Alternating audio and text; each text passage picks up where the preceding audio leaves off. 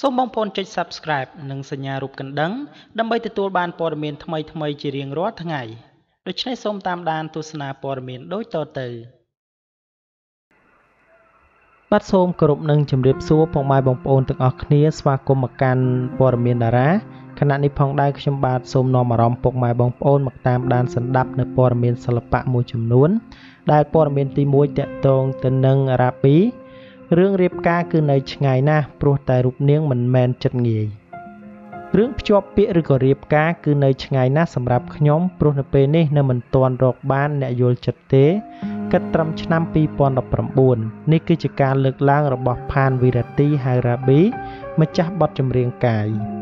ស្រីស្អាតរូបនេះបាននិយាយថារូបនាងមិនមែនជាមនុស្សស្រីចិត្តងាយដែលគេញ៉ែភ្លាមបានផ្លែតនោះទេ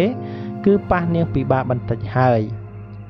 បើទោះបីជាយ៉ាងណាការដែលកញ្ញារ៉ាប៊ីធ្ងោពិបាករកគូស្នេហ៍នៅពេលនេះដោយសារតែប្រុសដែលរូបនាងប្រាថ្នានោះគឺទាល់តែជាប្រុសក្មេងរូបសង្ហាទើបអាចឆក់យកបេះដូងរបស់នាងបានក៏ប៉ុន្តែបើជ្រុលចំណាស់បើទោះបីជាមានលុយប៉ុណ្ណាក៏ស្រីស្រស់រូបនេះមិនយកភ្នែកមើលឡើយហេតុនេះហើយបានជារូបនាងថាពិបាករកសង្សារ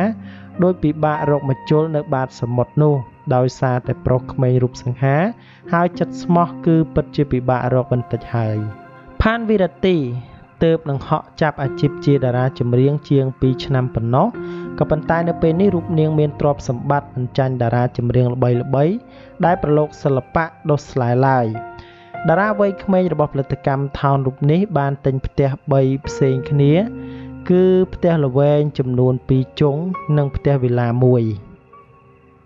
ដោយឡែករថយន្តវិញកញ្ញារ៉ាប៊ីជិះឡាន3គ្រឿងឆ្លាស់គ្នាដែរគឺរថយន្ត Lexus OX 300រថយន្ត Lexus NX 200T និង Stares ដែលសរុបទាំងផ្ទះនិងរថយន្តស្រីស្រស់រូបនេះមានទ្រព្យសម្បត្តិក្បែរ1លានដុល្លារទៅហើយ។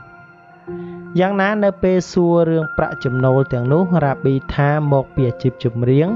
នាងគ្មានប្រុសណាចិញ្ចឹមនោះទេ នាងថាយ៉ាងហោចណាស់នៅក្នុងមួយខែមួយខែរូបនាង អាចរកប្រាក់ចំណូលបាន10000ដុល្លារដែរក្រោយពេលដែលផាត់ចំណាយផ្សេងផ្សេងផានវិរទីធ្លាប់ត្រូវបានគេចាប់អារម្មណ៍តាមរយៈរឿងកំឡោះក្តាមប្រៃក្រមុំស្ពៃជ្រក់ និងរឿងអ្នកបំរើ007ក៏ប៉ុន្តែតាំងតែពីបោះបង់អាជីពជាពិធីការនីនៅហងមាសមករ៉ាប៊ីមានរិស័យឡើងក្រើតក្រើតព្រោះបទចម្រៀងញាក់នៅថោនល្បីគ្រប់បទទាំងអស់ទើបធ្វើឲ្យទីផ្សារចម្រៀងរបស់នាងត្រូវប៉ាន់នៅក្នុងសន្ទាប់មិត្តយុវវ័យ